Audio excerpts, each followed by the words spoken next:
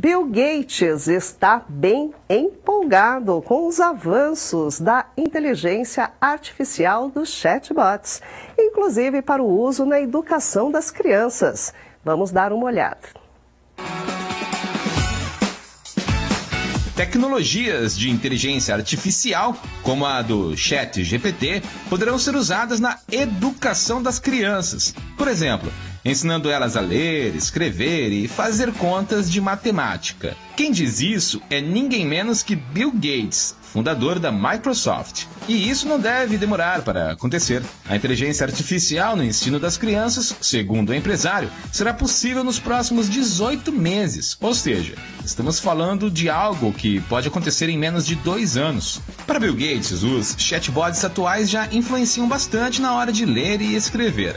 Algo que deve ajudar os alunos na leitura e na escrita como nenhuma tecnologia conseguiu fazer antes. O empresário também aponta que a inteligência artificial não vai tomar o papel dos professores humanos. Ela vai servir como uma tecnologia auxiliar, por exemplo, dando feedbacks sobre como a criança está escrevendo.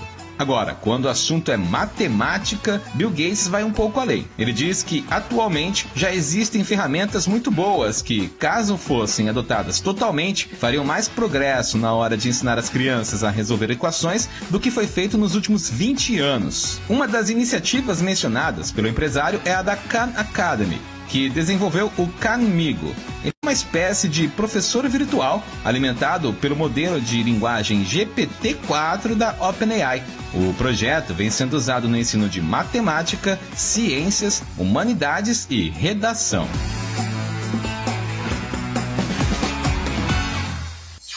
E uma aguardada novidade está começando a chegar ao WhatsApp. Vamos ver. Nas últimas horas, usuários do WhatsApp no Brasil compartilharam nas redes sociais terem recebido uma novidade muito aguardada no aplicativo: a transcrição de áudios. O recurso, basicamente, transforma em texto os áudios que a pessoa recebe no bate-papo. Por que? Tu foi dormir tarde? Ele está em testes no WhatsApp já faz algum tempo, segundo o portal Wabeta Info, especializado no mensageiro da Meta. Ao que tudo indica, uma porção de usuários no Brasil percebeu a novidade e mostrou bastante entusiasmo no Twitter, por exemplo.